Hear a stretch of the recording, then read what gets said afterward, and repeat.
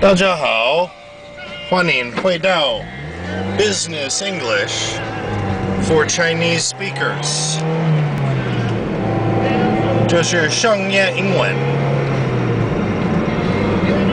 今天要教你的课程就是 pull out all the stops。pull out all the stops。 Stops 呢，都是就是停止的意思，停止。但是这里是当名词，不是动词，停止。就好像有一个一个汽车被木头卡住了，然后呢，你要移动它的时候，你要把那个 stop 拿起来，可能是路边摊的那种。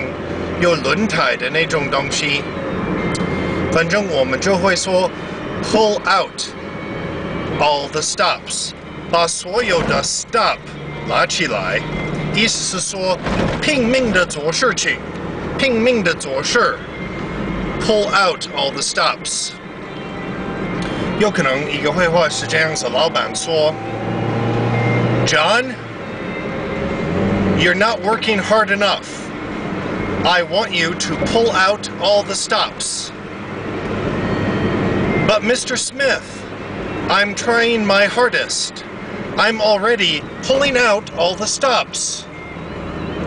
Are you? Are you working overtime? No. Are you working on the weekends? No. Are you hiring temporary staff? No. Okay then, so you are not pulling out all the stops. Get busy. Yes, sir.